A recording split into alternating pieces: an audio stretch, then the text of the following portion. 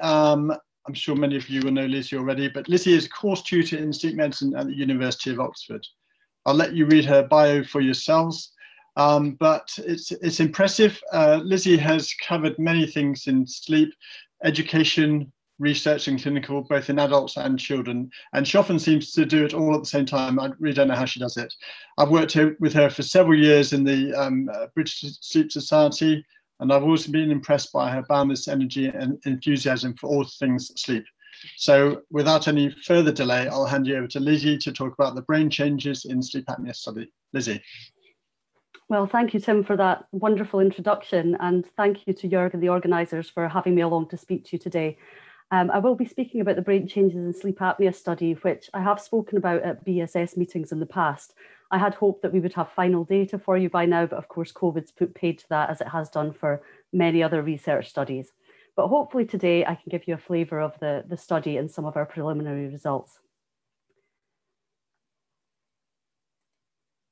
So I'll give a very brief introduction to cerebral small vessel disease and obstructive sleep apnea, and then I'll focus on the study itself. So looking at the, um, the underlying premise of the study, our methodology, and some very preliminary results and then just follow up with the next steps. And hopefully there will be time for questions at the end. So firstly, just a very brief introduction to cerebral small vessel disease. So small vessel disease is implicated in a fifth of all strokes and almost half of all cases of dementia of all causes. And it can present in a number of different ways. That could be problems with gait and balance, it could be depression or um, cognitive impairment, but quite often it can be uh, silent. And importantly for us, um, there's no um, specific treatment at present. So diagnosis of small vessel disease is made using neuroimaging and there are a number of different presentations that we can see on MRI. So we have, for example, here white matter hyperintensities, which you can see as the white uh, patches here. We have lacunes or small holes in the brain parenchyma, which we can see here. We have enlarged perivascular spaces, which are the focus of the, the study that we're looking at today. And we can also have small bleeds in the brain that can be visualized on MRI. And there are published international guidelines which aim to standardize reporting of these vascular changes on neuroimaging. And although the underlying mechanisms are not fully yet understood, we do know that there are some pathways implicated. So endothelial damage and inflammation can impact on uh, glymphatic drainage of the brain and stiffening and occlusion of the blood vessels can follow on from that. And I would like you to just keep this in mind as we move on to discuss obstructive sleep apnea. So I guess for the, the audience today, we don't need a huge introduction to OSA. We've had a lot of that already today. Um, but as you'll be aware, it's a repetitive cycle of airway collapse and recovery during sleep. And as you can see from the scheme on the right here, um, intermittent hypoxia and autonomic arousals uh, result from obstructive sleep apnea, that can in turn lead to sympathetic activation and sleep fragmentation, which cause cardiovascular and neurocognitive um, sequelae. And we also know from work in animal models by the Nedergaard group and others, and also in more recent evidence from human studies, that um, the sleep fragmentation can also impact on glymphatic clearance. So sleep fragmentation can impact on slow wave sleep where glymphatic clearance is upregulated during sleep. So um, if, if you think about this in the context of the previous slide, there's significant overlap between the risk factors for cerebral small vessel disease and untreated obstructive sleep apnea. So it's unsurprising maybe that there are now a number of studies linking obstructive sleep apnea and small vessel disease. And we have two um, very recent meta-analyses here which suggest that there are links between moderate to severe obstructive sleep apnea and markers of small vessel disease. However, these include a very small number of publications, and these are mainly cross-sectional in nature, and there's some significant variation in both the MRI parameters that are recorded and reported, and also in the diagnostic criteria that are used for small vessel disease and also for OSA. So it's clear that there's a gap in the literature where we um, could do with some prospective studies to address some of the limitations in our knowledge. And that kind of brings us on to the, the study that we'll discuss today. And hopefully at this point, the American spelling of apnea will become apparent. So the study that I'm discussing today is part of a portfolio of studies that's been undertaken as part of a transatlantic network funded by the Fondation Leducq. And as you can see from the map here, this includes a number of sites across Europe and North America who are all working on studies related to the perivascular spaces in small vessel disease. And there are a number of studies ongoing, ranging from basic research to clinical research, um, tying together all the different aspects of the perivascular spaces in small vessel disease. And um, we've been very lucky to be involved in this really productive and exciting project. So the aims of this specific study are to examine the relationship between sleep disturbances and small vessel disease features as visualized on MRI, and to examine the relationship between the changes on MRI and sleep architecture, cognitive function, blood pressure, and endothelial function. And we hypothesized that um, treatment of obstructive sleep apnea might impact on the changes that we see on the MRI. And so we're conducting all of these measures before and after four months of CPAP therapy. So um, a bit more about our methodology. We've recruited symptomatic adult sleep clinic patients with moderate to severe obstructive sleep apnea with significant uh, desaturations. So we've used a cutoff, an apnea hypopnea index cutoff of 15 and an ODI cutoff of 10 for this study. Um, all participants, of course, need to be suitable for MRI, and all our patients are either subjectively sleepy using the Epworth sleepiness scale or otherwise have clinical symptoms of excessive daytime somnolence. Our sample size was projected at 80 patients, which were split across two sites, 40 in Edinburgh and 40 in Toronto. And our partners in Toronto are at Sunnybrook, Sunnybrook Health Sciences Centre, and the team there is led by Sandra Black, Andrew Lim, Brad MacIntosh, and Joe Ramirez. And all of this work has been done in conjunction with the team at Sunnybrook. So this is an overview of the um, study protocol, and you can see that we have our two sets of measures at baseline and at four months. And each of the sets of measures last, lasted approximately a week. So we initially had a battery of cognitive tests, which were conducted at the start of the week. We then had uh, a week of ambulatory monitoring, which includes 24 hour blood pressure monitoring for the first 24 hours. We included seven days of actigraphy. We also included sleep studies on one night using the WatchPat device. And as a validation of the WatchPat, we also undertook concurrent PSG in a subset of patients in the Edinburgh cohort only. After that week of um, measurements, the participants came back to the clinic, at which point they had their battery of MRI, they had um, blood and urine uh, samples taken for biomarkers as well. And it was at this point that the patients would commence on auto CPAP with telemonitoring for the next four months. And they could follow up with us um, during that time. After four months, we had all the participants back for the same procedure. So the cognitive evaluation on the first day, seven days of ambulatory monitoring, and then a repeat of the MRI and the um, biomarkers. And the MRI protocol in total took about two and a half hours, so it's a long time to be in the scanner.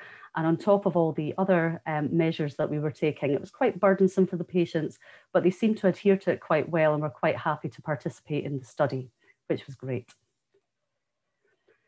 So in terms of the MRI acquisition and the MRI protocols, um, all the image acquisition and analysis was conducted using previously published methods, which I've list, listed here, which have been developed between the Edinburgh and Toronto um, groups, as well as others.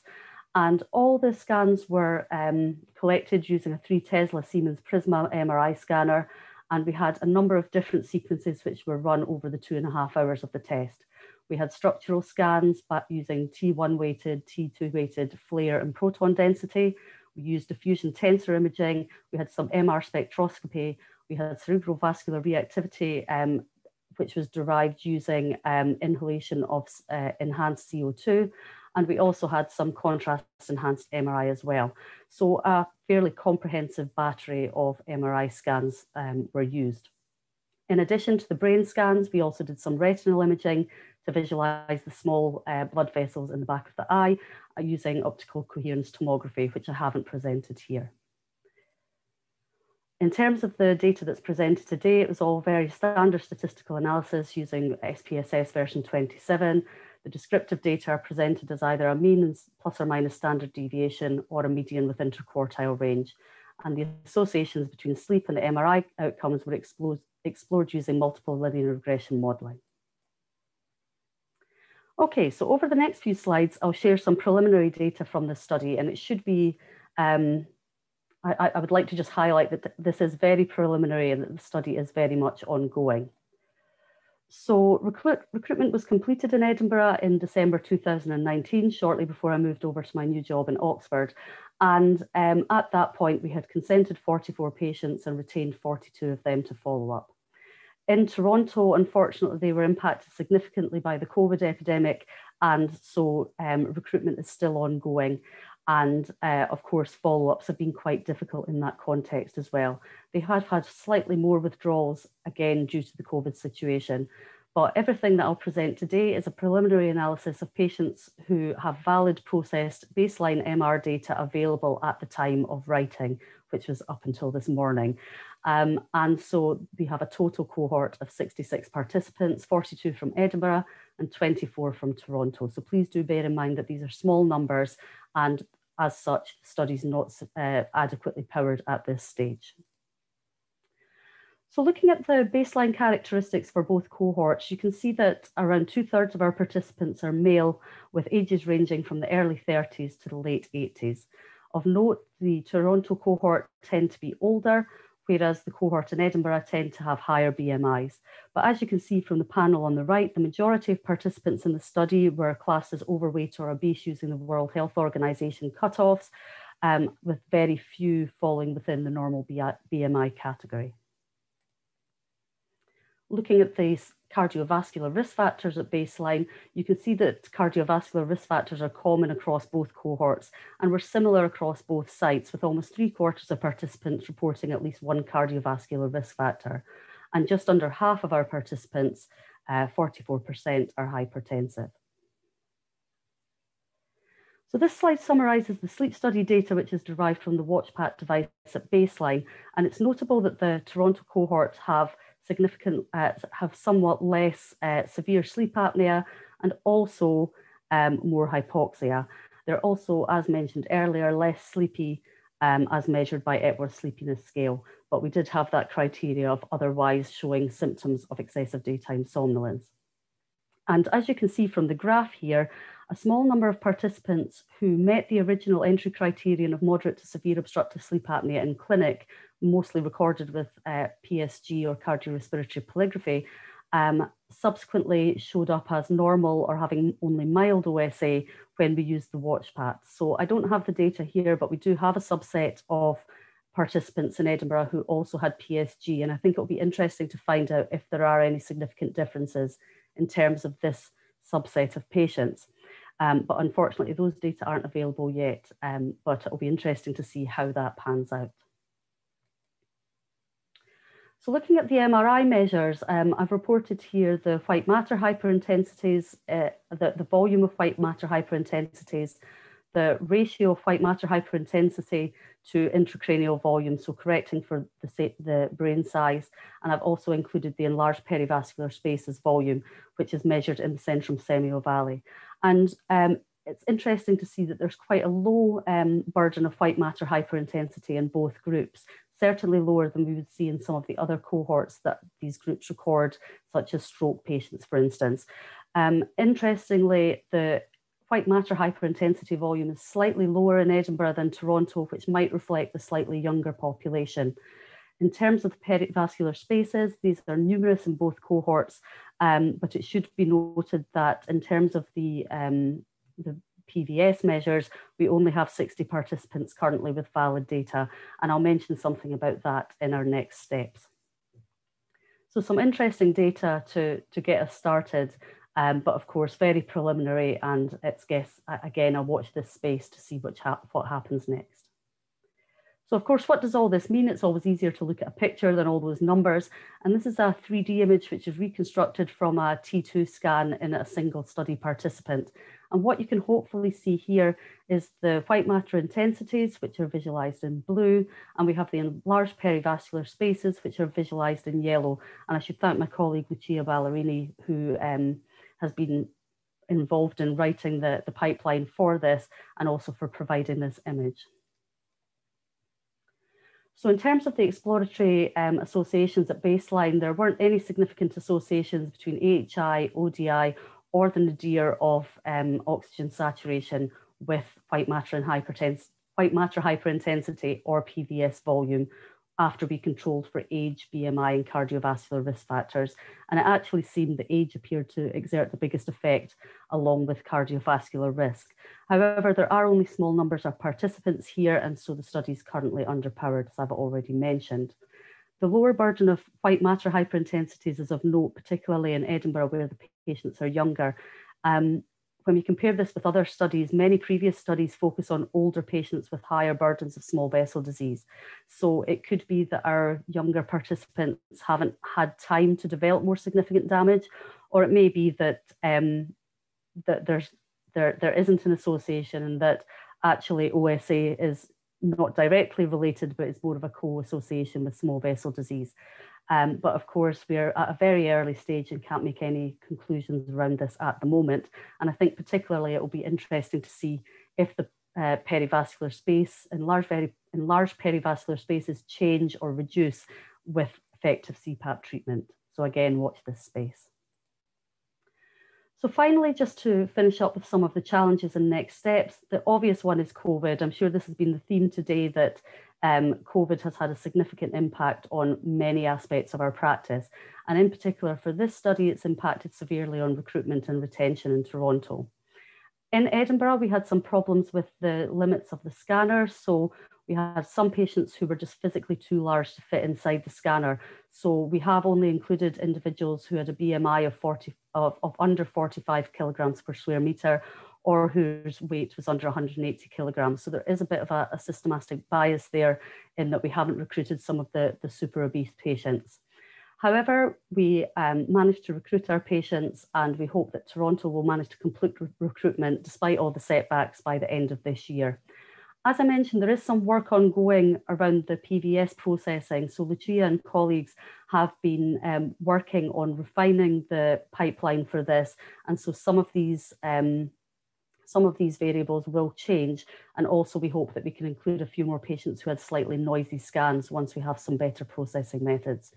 But we are looking forward to analysing the full set of data before and after CPAP, and we hope to have the full study finished by the end of 2022.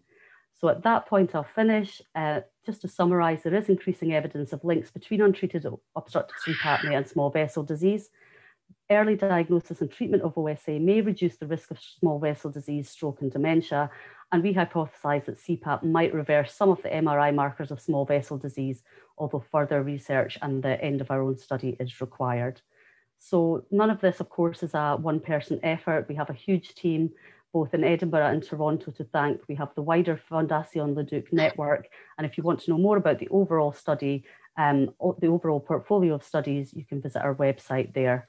Of course, I always have something to plug. And now that I'm in Oxford, if you've enjoyed your conference today, if you've been renewed and excited about, about sleep, then if you would like to take your studies further, then we're always um, open to applications and we are accepting applications for this September.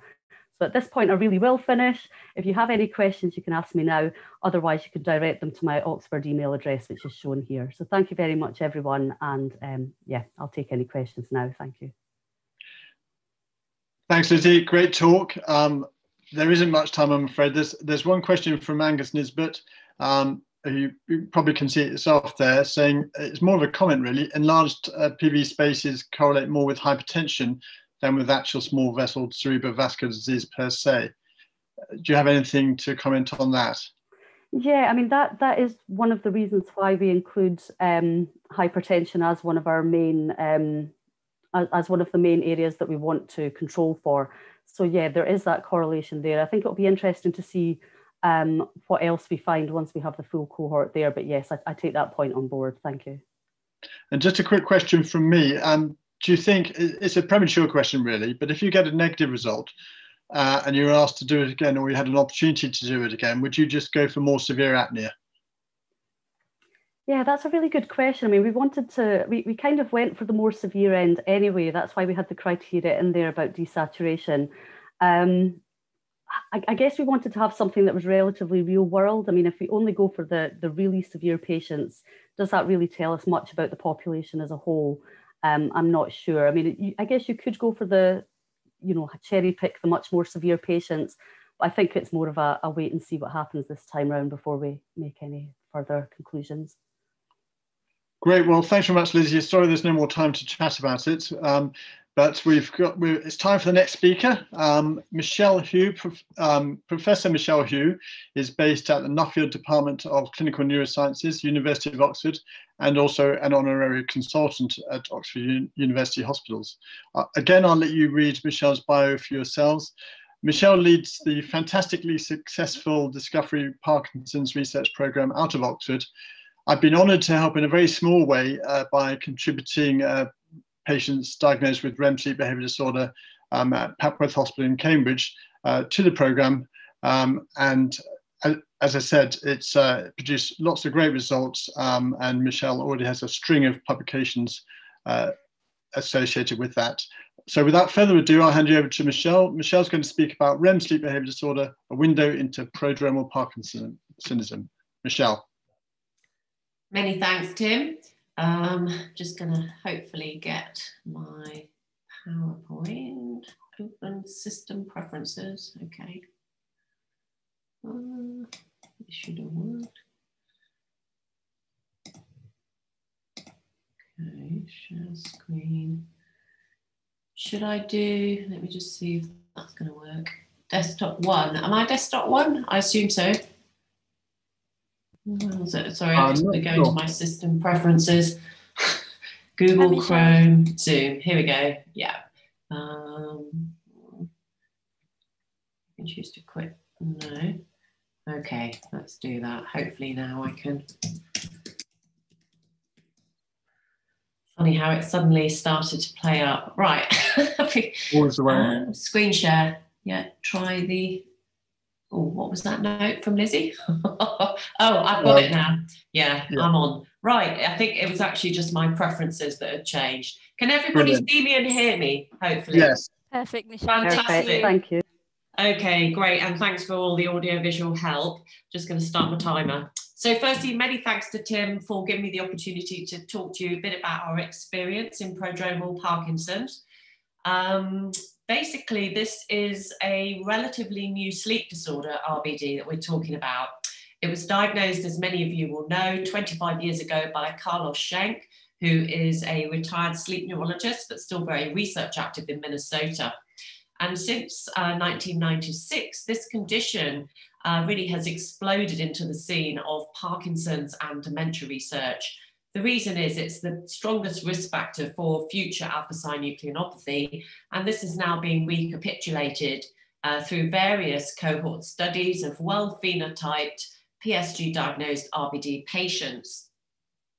So my personal interest in RBD uh, started when I first saw uh, 15 years ago uh, as a consultant, the wife of this patient who um, she was giving, she had dragged him in and uh, he, she was complaining bitterly that she wasn't sleeping because he was shouting and moving and kicking in his sleep. So I diagnosed RBD clinically. At that time, there was a one year sleep waiting list uh, for referral and then another year for the PSG. So we ju I just examined him. Neurologically, it was fine. Um, and I treated him with clonazepam. Story over.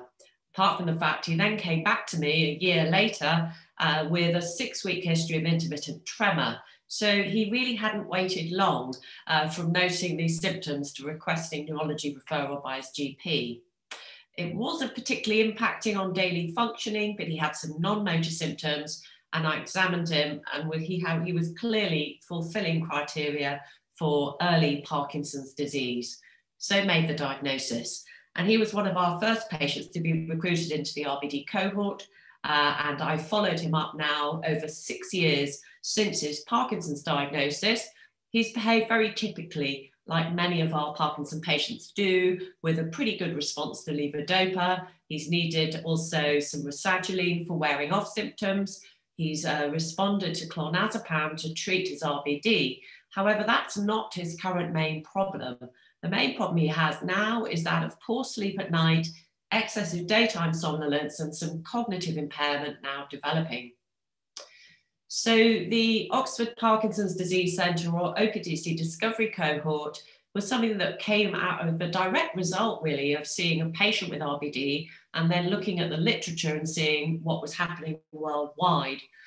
This is funded by Parkinson's UK. It was set up in 2010. The PD patients for this cohort are early, they're within three years of diagnosis, and they're a community acquired cohort from the Thames Valley population, shown here in red on the map, which is about 2.1 million people. And they're recruited for secondary care. We recruited 321 controls who were largely partners of the PD patients, and they were age and gender matched as far as possible. And then we started to recruit RBD patients with the help, really, of sleep clinicians, including Tim Quinnell at the Papworth Hospital, Gary Dennis at the Royal Hallamshire Hospital, Sheffield, and Dr. Zenobia Zaiwala, who subsequently retired and has been replaced by Mikhail Simmons at our home base in the JR.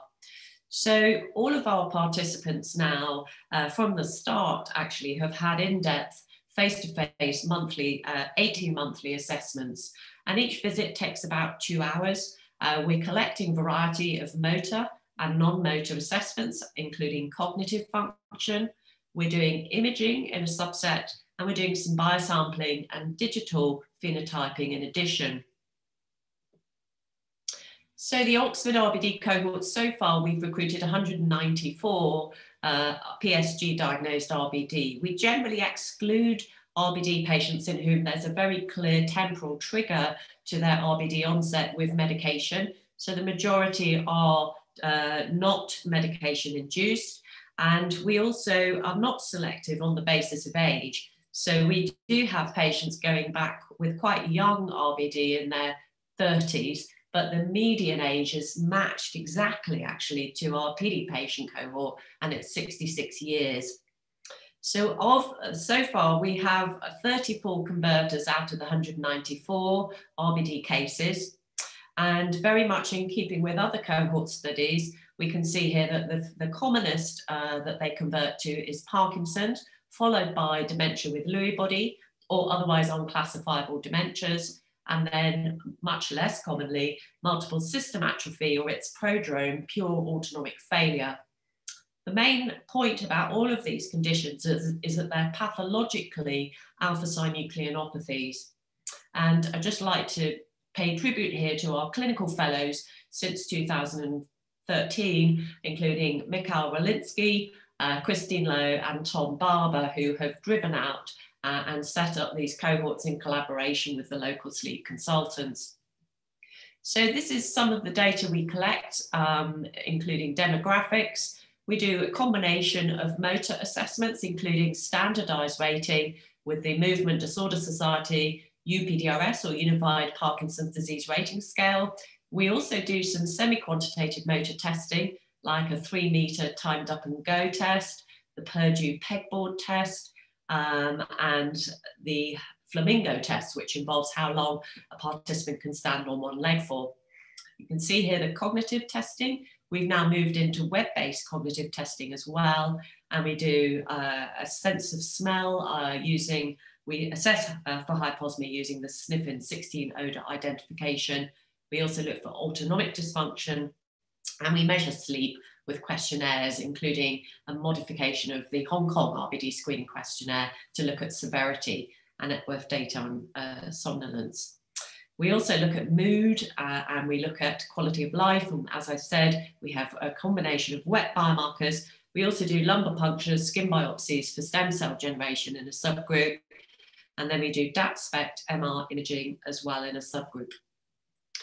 So one of the largest studies that we've helped contribute to was led by Ron Postuma, uh, who is very much, uh, I would say, one of the lead uh, authors in RBD uh, publications. And one of his skill sets is to bring together large numbers of RBD cases, which you need for the look, you know, for the sort of um, analysis more in depth of kind of conversion biomarkers. And here he brought together 1,280 PSG confirmed RBD cases, which was a massive feat from 24 RBD uh, centres in the RBD study group, which I'm a part of, and they were followed up over an average of five years. So this study, landmark, as it confirmed that the average conversion rate per year was 6.3%. So this is by far greater than any known genetic risk factor that we have for prodromal Parkinson's. And this study showed that the main predictors for imminent, i.e. near-term conversion, were the presence of quantitative motor deficits on testing or on an objective motor exam, like with the UPDRS, part three, the presence of olfactory deficit, cognitive impairment, and an abnormal DAT scan. Ron has also previously shown that you can risk stratify RBD patients from his Montreal, Montreal cohort. So these have actually been evaluated over a longer period of 10 years. If you just take participants over the age of 55 and you exclude participants in whom RBD is triggered by medication, such as antidepressants, you uh, only include those who are strictly hyposmic and have evidence for motor dysfunction on the scales I've mentioned, uh, you actually increase that annual conversion from 6% to 21% per annum. So we're now starting to look at numbers needed to treat in a future clinical trial scenario. Um, Ron has also had the advantage of having a cohort that's been very well followed up over up, up over sort of 14 to 16 years for some of these RBD individuals with Jacques Montplaisir. And what he was able to do just by following up these participants longitudinally was to look at what the temporal sequence of uh, non-motor, motor uh, features were in these RBD individuals as they progress to phenoconvert. So the key take-home message is that hyposmia is present at least 20 years prior to phenoconversion. It's the earliest non-motor feature we know. And we then start to see PSG evidence uh, of prediction. And this includes the percentage of REM sleep without atonia. The higher the percentage, the greater the future uh, conversion risk. Uh, we then start to see around 10 years prior to conversion, uh, a variety of measurable uh, dysfunctions in autonomic bladder, uh, bowel, and color vision. And then just five years prior to phenoconversion, we start to see motor signs for which quantitative assessments are better than qualitative, and we start to see the presence of cognitive dysfunction. So the challenge really in stratifying each individual RBD patient for near-term conversion is that we have in Parkinson's a slowly progressive heterogeneous disease. We have a long prodromal latency of 20 years. We need improved subject selection and stratification for trials. And the range of biomarkers that we need to apply need to cover things like monitoring pharmacodynamic and prognostic uh, areas. So a single biomarker is unlikely to achieve this. And if you think about cancer and its successes, it's used a variety of polymodal approaches, which we think to be the best way forward. So how we've approached this in the OPDC RBD cohort is by looking at digital wearables. So each participant that comes to clinic takes part in a 10 minute uh, smartphone app-based test of motor function, shown here. Uh, we have now shown, uh, well, in particular, Siddhartha Arora and Christine Lo did the analysis of shown that on the basis of a single smartphone test, we can achieve separation accuracies in the range of 90% in between RBD and control and between RBD and PD subjects. This is based simply on the single smartphone test with none of the demographic data I'm showing you. Christine has then gone on to look at whether we can develop a more quantitative overall measure of motor severity. And she has developed something called a composite motor score, where she has taken existing clinical measures we collect in every participant in the face to face clinic uh, that can then be predicted by the smartphone test. And what she has shown is that this composite motor score, compared to the MDS UPDRS, exhibits lower variability relative to the mean, therefore reducing the numbers needed to treat in a, in a future trial arm because there's less variability. She's also shown there's a greater score range, particularly in those more modestly affected with motor dysfunction in the RBD end. So there's less of a floor effect. And lastly, she's been able to show that the composite score has greater ability to track longitudinal change particularly in RBD individuals, and that it might therefore prove to be a powerful biomarker for imminent conversion. We've also contributed to a large DAT imaging study published in Brain this year, uh, which looked at 344 RBD patient DAT scans compared to 256 controls. And here, because the variables that were clinically collected were limited, they focus, the authors uh, focus mainly on DAT striatal binding ratios, MMSE, constipation, hyposmia, and the motor score with the MDS UPDRS3. So the best uh, predictor of risk was a combination of putamen asymmetric reduction plus constipation plus an age over 70. And this predicted future Parkinson's conversion with a hazard ratio of around six. Interestingly, participants who had very uh, uh, symmetrical caudate reductions in DAT were more likely, particularly if combined with a lower cognitive estimate on the MMSE, they were more likely to phenoconvert to dementia or DLB compared to PD patients who had higher cognitive function on MMSE, uh, but reduced caudate asymmetry. And PD patients have more putamenal asymmetry, but relatively unaffected caudate. So we're starting to see now biomarkers that may not only predict imminent conversion, but what type of uh, condition or neurodegeneration the participant will go on to convert to. In Oxford, we've also focused on an imaging subgroup of around 150 of our participants, where we've done a variety of MR sequences. So here we've looked at structural T1s, uh, we've looked at the whole brain using diffusion weighted MR, we've done a resting state fMRI, fMRI sequence, and in 2017, we brought in specific sequences to look at nigrosome 1. Now, nigrosome 1 can be shown by something here in the red arrow along the, alongside the healthy control, and you see a small white blob that looks a little bit like the swallowtail. And this is uh, corresponds to nigrosome 1, and it's been shown in post-mortem ex vivo imaging to relate to the dopamine producing neurons that project to the posterior putamen. So these are the ones affected earlier on in Parkinson's. And previous studies showed that this is absent uh, in around 96% of people with Parkinson's disease. So we can use susceptibility weighted imaging, and we can also use neuromelanin sensitive imaging to focus on the NIGRA.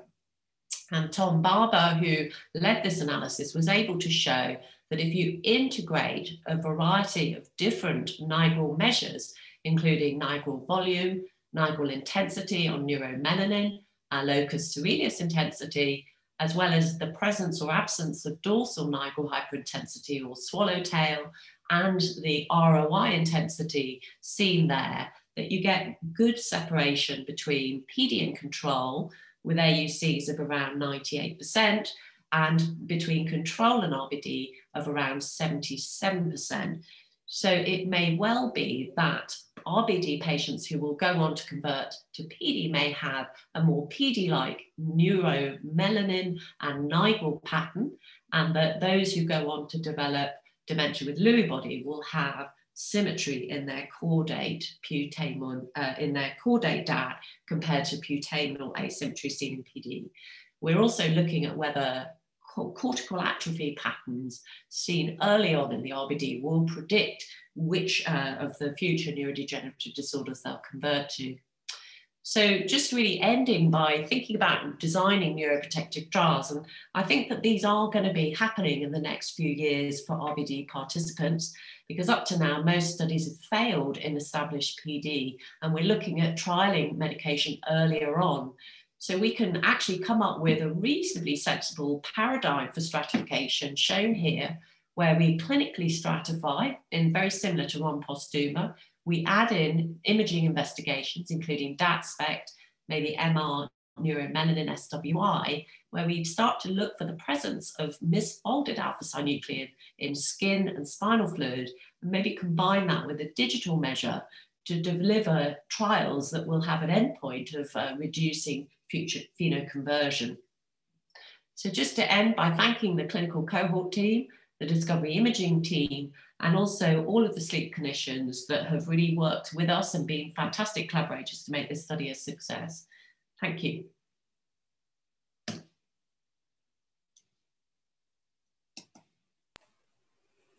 Happy to take questions. Fantastic. Thank you very much, Michele. Um, any questions from the, the group? I'm not seeing anything in the the chat. So um, if I could maybe start, you, you mentioned about the, the different phenotypes um, and some of the different biomarkers that then go on to convert to different alpha-synucleinopathies. Are there any differences in those different groups on PSG? Or is it really only when you move on to the, the scanning and so on? That's really interesting question. So we have um, studies by um, Eric St. Louis, who is working with Bradley Boeve in the US in the Mayo Clinic, has actually shown that the percentage of REM sleep without atonia is a, a driving biomarker for future phenoconversion. But that in itself doesn't appear to separate out individual risk or comparative risk versus, say, PD versus DLB. However, that study was only published about a year ago. And my suspicion is that if you start to look in greater detail at the PSG, not just things like the percentage of REM sleep without atonia, but other features that there will start to emerge um, things that will predict, you know, which alpha synuclein will be converted to. So, you know, one of the things that we want to do here that we haven't had time to do up to now is actually retrieve the PSG data for all of the 200 uh, RBD and then start to look at it for uh, PSG biomarkers. Okay, interesting. Thank you. We've got one other question here that's come in from the group from Teresa Bainan. Um, are there currently treatments available for Parkinson's that are beneficial if it's diagnosed earlier? Yeah. So this comes back to the fact that uh, around 23 billion US dollars have so far been wasted in negative trials for neuroprotective treatments for Parkinson's. The only exception so far that I'm aware of is exercise. And exercise has been shown both in animal models of the disease and in some human studies to slow down motor progression in PD and also to protect against future dementia. So for me, um, I tell all my newly diagnosed PD patients they need to exercise. I say the same to RBD, and I will be applying for funding to do potentially a randomized exercise intervention trial in RBD. Fantastic. Um, we, I, we're going to have to move on at this point. So thank you very much, uh, Professor Hu, for your fantastic presentation. Hopefully you can stick around in case there are any further yes. questions. Um, and hopefully when I eventually get to come back down to Oxford, I can pay you a visit at some point. Lovely. Um, at this point, we'll move on. So our next speaker is Professor Dieter Riemann, who's a professor of clinical psychophysiology at the Department of Psychiatry and Psychotherapy at Freiburg University Medical Center. He's also a visiting professor at the Sleep and Circadian Neuroscience Institute in Oxford, and he's also editor-in-chief of the Journal of Sleep Research. And today, Professor Riemann will talk to us on REM sleep instability and insomnia. So Dieter, I'll hand over to you. Thank you. Lizzie, thank you very much for introducing me. I hope you see me well and hear me well and you see my talk. I'm happy to be here happy to be with you. And uh, also hello to Jörg, uh, who invited me. Um, it's a great pleasure for me to use the next 15 minutes to talk about REM sleep instability in uh, insomnia. Uh, so there are four, four, topics I have on my agenda. I'll briefly talk about insomnia and hyperarousal. I'll switch to REM sleep. I talk to insomnia and REM sleep instability, and I'll talk about a series of studies we performed uh, over the last years. Uh, give you a good impression of insomnia, I always like to show this brief sequence from a documentary film. This is a film made by Alan Berliner, an American um, filmmaker, director, and he has insomnia himself in a chronic way, and he he just uh, he talks about it, he's obsessed with it, and I just show you this brief sequence so you get an impression what it feels insomnia. Uh, do you hear it? Uh, I think I. Sorry. Uh, sorry, I think I have to. Um, there should be an option that says share sound. Yes, exactly. The sound, that's it. I found it. So, and I have to, yes. So we have to go back and we need to go to the Inhale. You hear it now? Yes, we should. hear it. Yep. The baby's coming in two months. I've never changed a diaper in my life. Do I watch the birth or film the birth? Shooting it would be better for the film. But how can I watch the birth of my child through a lens? Just relax. I'm too tired to relax. I'm gonna be a zombie tomorrow. I feel like a zombie right now. What was I saying? What if he wants to be an economist like Shari? What if he becomes a doctor? That would be okay. He could get me the latest sleeping pills. Stop it, stop it, just relax. He's not even born yet. He's got to go to nursery school first. That reminds me, we have to get the applications early. New York City nursery schools are really competitive. Yeah, I think you get the message. Uh, and I mean, I, I experienced something like that too, maybe once in a month, once every three months, and probably all familiar with that kind of state. But if you go through this every night, it really, it's probably, it's a bit like, and that's what many people tell us about their racing thoughts and about their inability uh, to stop these racing. And uh, we think um, the insomnia, people with insomnia frequently complain about hours of not being able to sleep, about sleeping three or four hours. And uh, there's a huge gap here to the polysomnographic literature because most of the studies show that people with insomnia usually they get their six, six and a half hours. That's less than normal sleep, but it doesn't really correspond to the subjective complaint of people. And we and many others think that this has something to do with the microstructure of sleep. So what we have here is a good sleeper and a poor sleeper in insomniac patients. And what we have here is the frequency spectra of uh, the sleep EEG. And what we and others have shown is that there's an increase of the fast frequencies during sleep.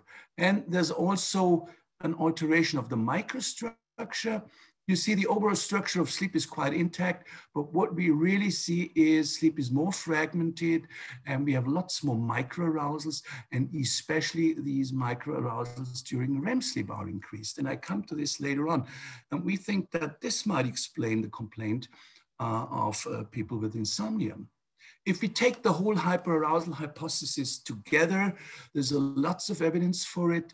Uh, we have alterations in autonomic function, increased heart rate, altered heart rate variability. We have an increased cortisol output, and especially at the area, if you look at the brain, we find these, uh, this increase of fast frequencies in the EEGs and also an increased number of arousals, which led us to the postulate of uh, um, REM sleep instability in If we look at um, the imaging studies which were done in insomnia, and these were mostly done during the day, not during the night, because it's really a huge challenge to study sleep not only in good sleepers, but also in people with insomnia, either with the fMRI or with PET. So there are only a very, very few studies, but most of the studies have been done during the day. And we summarized that in 2015, that most of the studies at the time done with uh, fMRI, with SPECT, with PET, indicated that in people with insomnia compared to good sleepers, we find a kind of corticolimbic, corticolimbic overactivity interfering with sleep promoting structures. And to put this in a very, I would say, trivial form, well, we suggested that uh, there's some kind of don't people with insomnia don't sleep as homogeneous as healthy sleepers brain do. Let's make a switch here to REM sleep. This is taken from the um, from uh, uh, sleep lab data, from our data, and we all know the characteristics, the rapid eye movement, low voltage EEG, muscle atonia, and we heard a lot about that in previous talk, and the relevance for, for REM sleep behavior disorder.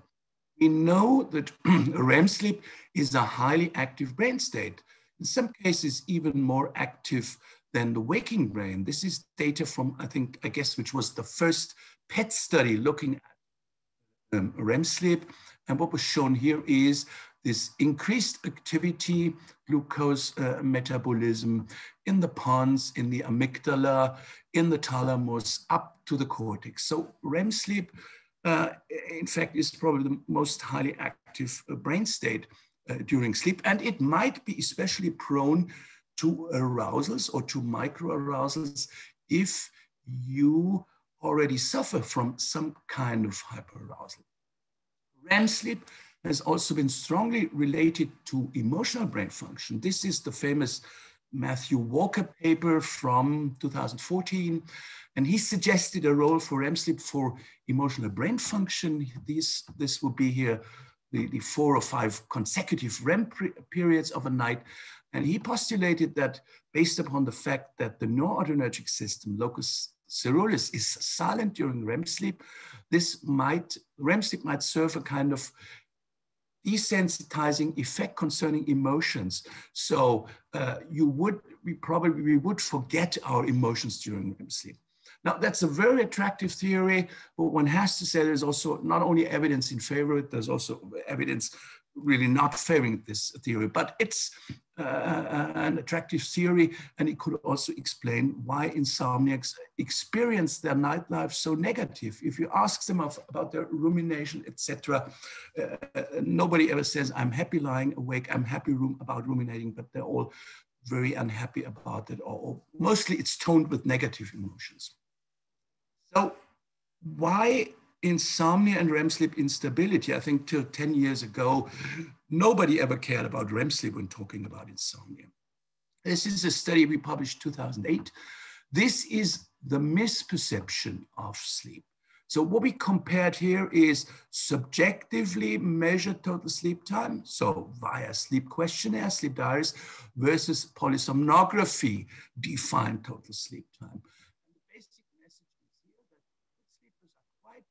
There's not such a huge difference between the subjective, the objective level versus the much higher uh, um, frequency of misperception of sleep both ways. And you see here, these are the insomnia subjects claiming that in comparison to the polysomnography, they slept three or two hours less subjectively than in comparison to the polysomnography. What happens if we take this measure of misperception and correlated with sleep stages. It didn't correlate with stage wake, but the only correlation we found is with REM sleep. So people who had more REM sleep in this column, in this uh, uh, sample, were those having a stronger misperception. And interestingly, we also looked at the frequency at arousals during non-REM sleep and REM sleep. The micro found a far higher rate of microarousals during REM sleep. So we, we suggested at that time maybe this perception of sleep, which is not so much related to the general structure, is altered by REM sleep or the impression not sleeping so much is due to the fact that people are have frequent, frequent arousals, micro arousals out of REM sleep, and thereby don't perceive the REM sleep as sleeping, but as being awake and ruminating. And, and this is now very, put this very simply, our insomnia theory saying uh, sleep is unstable, more unstable, hybrid, or especially REM sleep is much more uh, unstable in people with insomnia compared uh, to good sleepers. Just to uh, finish this up, I'd just briefly like to present two studies we performed in that direction. The first one is already published in Sleep two years ago. And here we looked at 27 people with insomnia, 27 good sleepers, and we woke them out of non-REM sleep three times, non-REM sleep stage two, and we woke them out of REM sleep. We looked at arousal thresholds, awakening thresholds, the latency to till people woke up, and we looked at mentation and we asked people when you heard the tone, which were you awoken, were you awake or were you in sleep? This is uh, uh, uh, the main difference we found here. Uh, the main result from this study, this is stage two awakenings, this is REM sleep awakenings. And the judgment significantly different only for REM sleep. People with insomnia more frequently indicated they were awake. And if they had indicated they were asleep, most of the time people with insomnia were far less secure they were asleep. So people with insomnia indicated, as was our hypothesis when they were woken out of REM sleep, not having slept, but having been awake. And interestingly, also the frequency of negative emotions was increased, especially out of REM sleep, not out of stage two sleep. So some initial confirmation of our idea that um, people with insomnia experience sleep, especially REM sleep, different. If you wake them up, they more frequently indicate, I, I didn't sleep at all, I was awake. And that would nicely fit with the idea that REM sleep per se, as a brain state, is nearer to the wake state than other sleep states. So we went on to a next study. And what we did here is uh, we thought we should increase the number of uh, awakenings we have. Uh, but you can't do this by awakening. But what we did here is we used uh, event-related potentials. We played to each of our subjects in this study more than 10,000 stimuli at a very uh, low uh, acoustic intensity. These were guitar tones, and we played them every one and a half seconds. They were randomized, and these were just four different guitar tones and all uh, guitar tones, and all people could sleep quite uh, okay with this. What we did is we had 50 patients with insomnia here, and we had 50 good sleepers.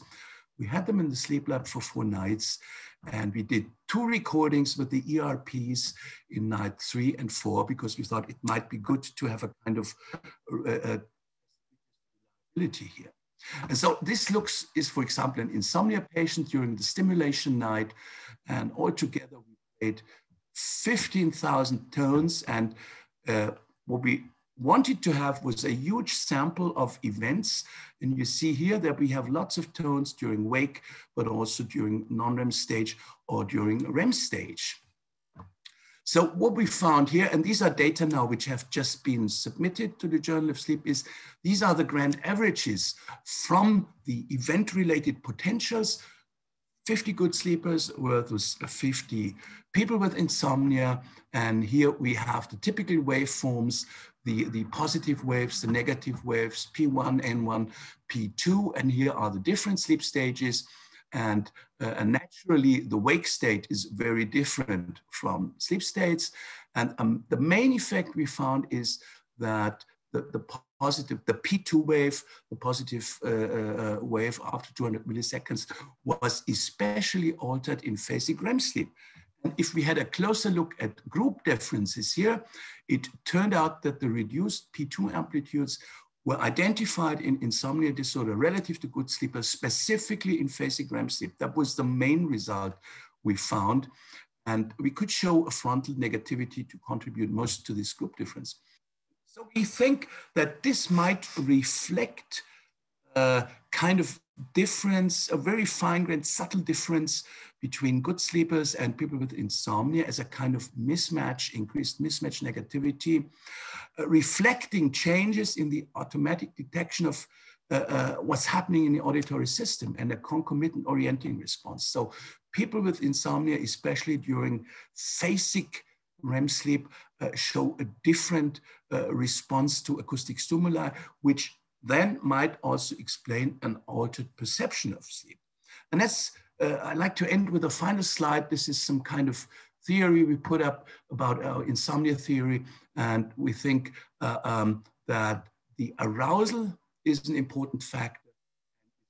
Might be especially uh, um, perception or the detection or the processing stimuli during REM sleep, especially during phasic REM sleep, which might explain the altered perception of sleep in people with insomnia. And we are now going for a, a further continuation study, which maybe I can tell you about next year.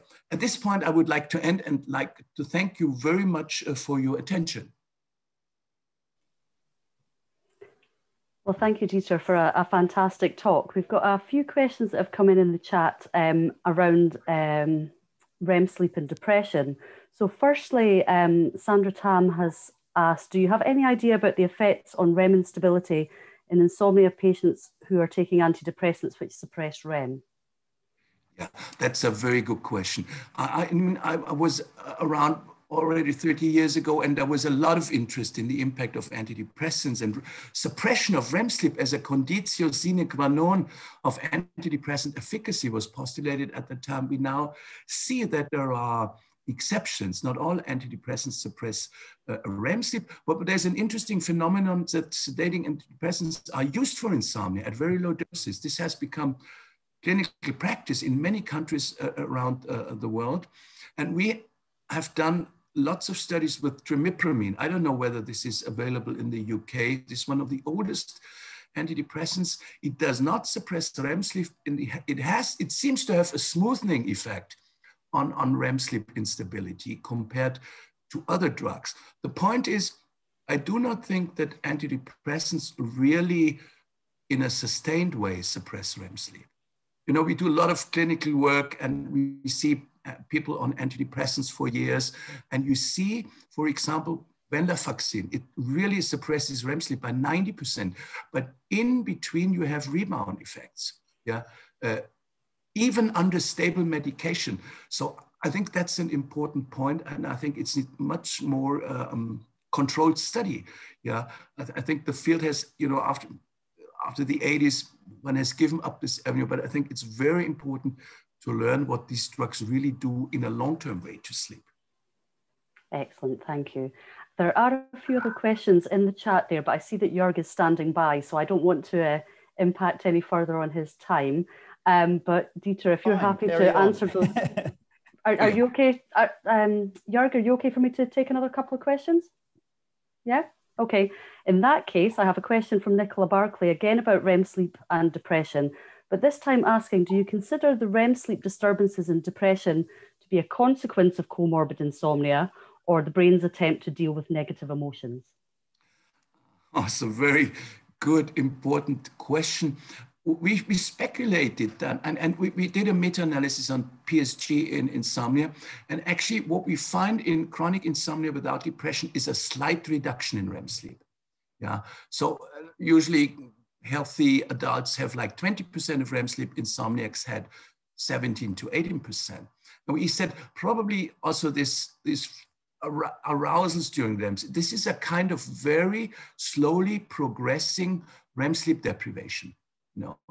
And in the end, if you go through this for years and years and years, suddenly this might lead to a REM sleep rebound, which and a REM sleep rebound looks like REM sleep alterations in depression, short REM latency, increased frequency of eye movements, very long first REM period. So we, we suggested that maybe this long-term slight REM sleep deprivation leads in the end, if you turn into, if, if you develop depression, comes along with REM sleep uh, rebound effects. And we, we, we, guess that this long-term changes in REM sleep, if you experience this for a very long time, it, it's not the only factor for depression. We all know that there are lots of important factors in psychosocial, but it could at least make you more vulnerable to develop depression because I would say your emotional equilibrium is not functioning as well every night than in somebody who, is, who has uh, uh undisturbed sleep. Fascinating. Well, thank you very much. There are quite a few questions in the chat, so if you're happy to answer those in the yeah. Q&A, that would be great. Um, so thank you very much again for joining us. And we will move on to our final speaker of the session and in fact of the day. And really our final speaker uh, requires no introduction. Dr. Jörg Steier, as well as organising today's excellent meeting, is currently a consultant physician in the Lane Fox Respiratory Unit and Sleep Disorder Centre at Guy's and St Thomas's. He is also a reader in sleep and respiratory medicine at King's College London, and of course is the current president of the British Sleep Society. And it's in this final capacity that he'll speak to us today, introducing the BSS strategy for healthy sleep for all. So thank you, Jörg. Thank you very much for the nice introduction, Lizzie. And uh, first of all, happy birthday to Freiburg. Uh, Dieter, if you're still there, thank you so much for taking time off to talk to us uh, during the World Sleep Day, but also on your birthday. So herzlichen Glückwunsch to Germany and thank you for supporting this symposium. So um, thanks for the invitation to talk and thanks to the chairs, Lizzie and Tim to uh, moderate. Thanks to Michele to speak. The British Sleep Society strategic plan.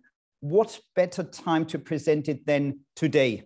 On World Sleep Day because this is what it's all about. We want to engage, we want to instill interest in sleep, sleep medicine, and we want to get everyone around the table to talk about it. So let me, in the remaining uh, minutes of this day, talk you through uh, the strategic plan that we propose, that we've now started to promote.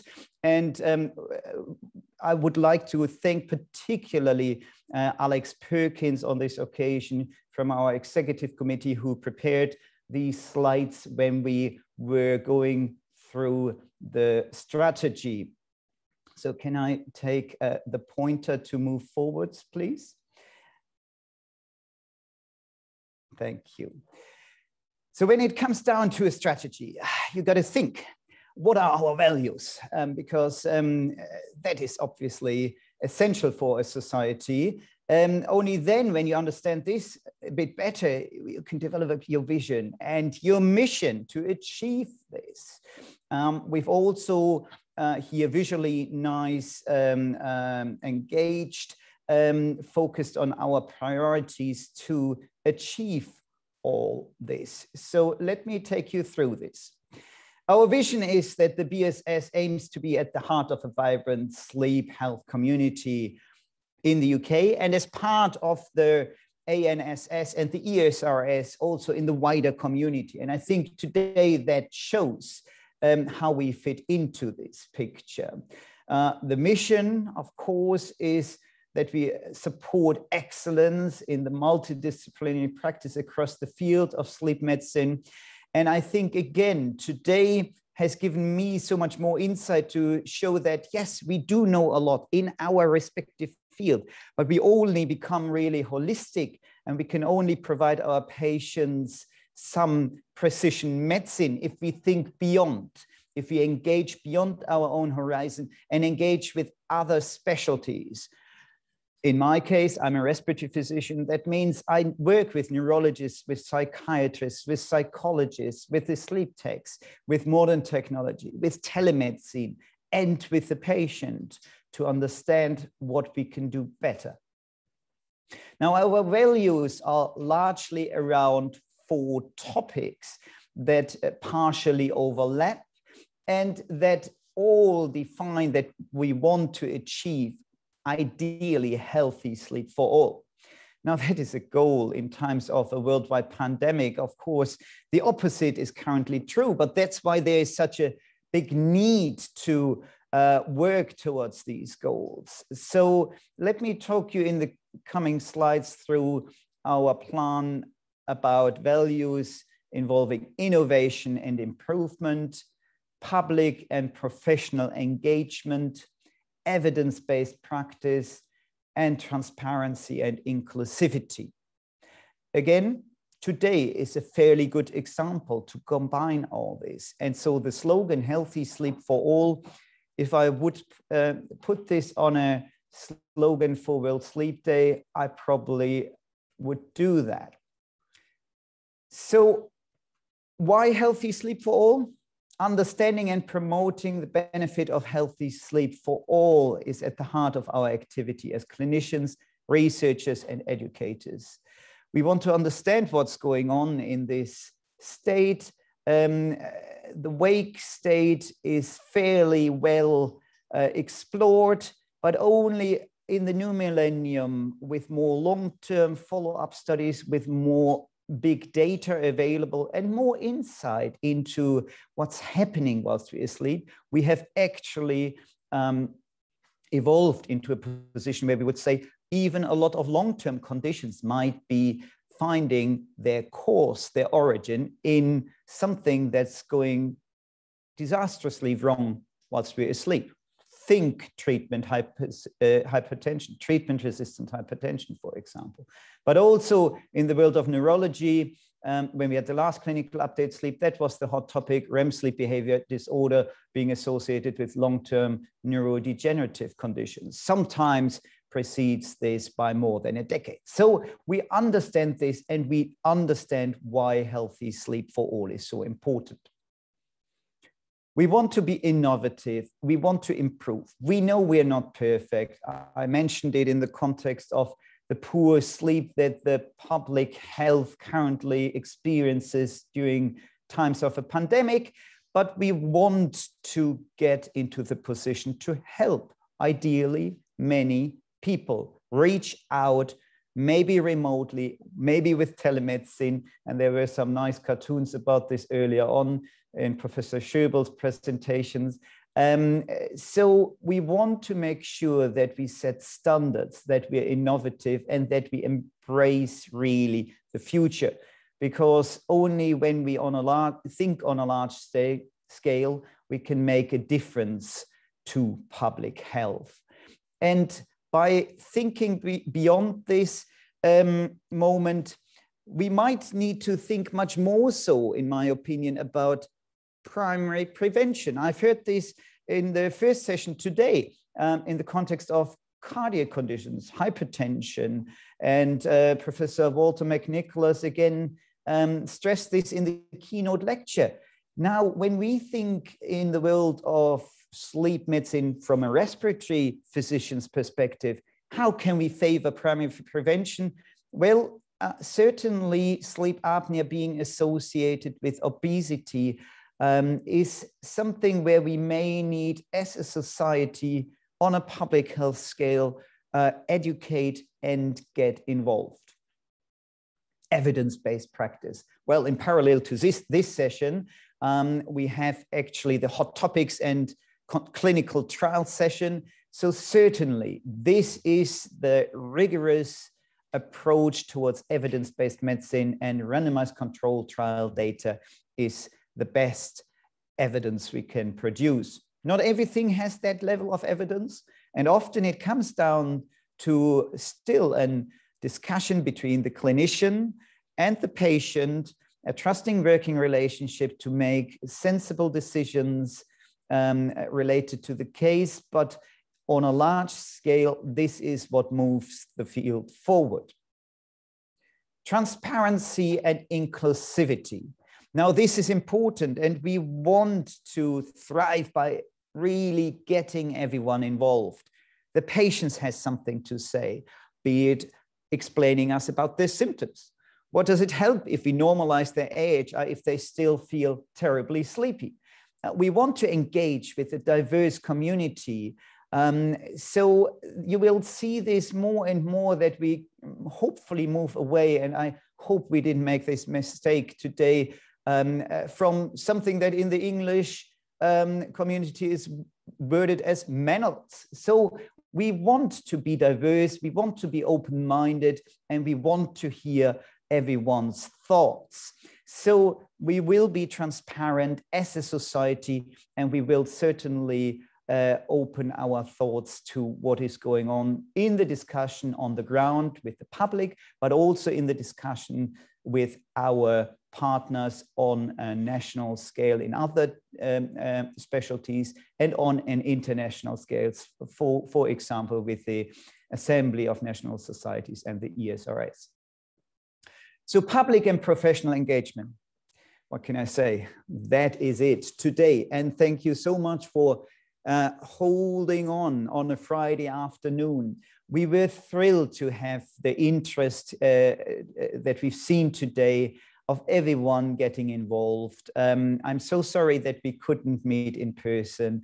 I look forward to running this again, hopefully in two years' time, and then welcoming you all in person. I've missed really the chats uh, on the corridor after a seminar today or after a lecture. And um, I mean, we would now go with Dieter into the next pub after this session. Um, unfortunately, that's not possible. So public and professional engagement is currently on hold in that it's all virtual. So bear with us. We know we're not perfect, but this is our goal. And how do we want to realize this? Um, uh, so in the short amount of time that I still have, we have three main streams. Those of you working in the UK in academia will have heard of the tripartite agenda education, clinical practice, and research agenda. So these three streams uh, drive forward our society life. Um, what's really the joining, the overarching theme is communication. What I'm doing right now, talking to you, um, we want to uh, send the message out that we are here, your society, to make this work, to engage in public health, to talk to policyholders, and to be there for our patients. So again, we're not perfect, but we're working on this. And we have today academic and research events, clinical practice we've heard about. Um, there's a big overlap and um, you will see hopefully at the BSS conference uh, in November this year more about each of these streams. And I'm so pleased also to engage more so after last time, the British Pediatric Sleep Society joining this time. Now we have the British Sleep Dental Society for um, uh, joining us as well on these streams. So I've said almost everything about these topics, and I will leave it really at that for now. We will want to engage with you. So this is your society, the BSS. We will have the chance to have you determine our agenda for the conference later this year. We will have seats available on our executive committee. Um, uh, we have uh, seats available on the educational and the research subcommittees this year. So if you think you enjoyed today, and if you think you want to make a difference, and if you want to engage and next time see yourself on this camera, then please get in touch. We would like to hear from you. We would like to make this your event.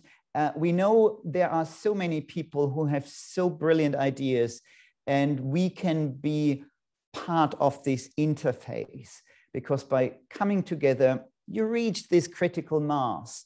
And certain topics that are sometimes, maybe for policymakers in the UK, uh, inconvenient to listen to, um, we can give you a voice and uh, certain topics don't go away. And by revisiting them over time, the peer group will succeed in what is best for the patient. I'm convinced about that, and I'm so pleased for everyone joining us today. But now I think I've said enough. Um, uh, Lizzie is already uh, on the link. We've got two minutes left before we all come together in the take home message. Thanks for joining. Have a wonderful evening with World Sleep Day. And um, I hope that we will meet each other again at BSS events later this year.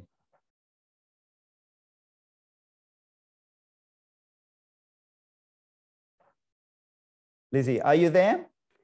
I am here, thank you. Any any questions that anyone would like to to pose about anything that's happened in Jörg's talk, anything from uh, the rest of the session, now's the time to, to ask those questions. I don't see anything in the um, outstanding in the Q&A, so I don't know, Jörg, if you um, have anything else you'd like to say or if anyone else on the panel has any questions or comments.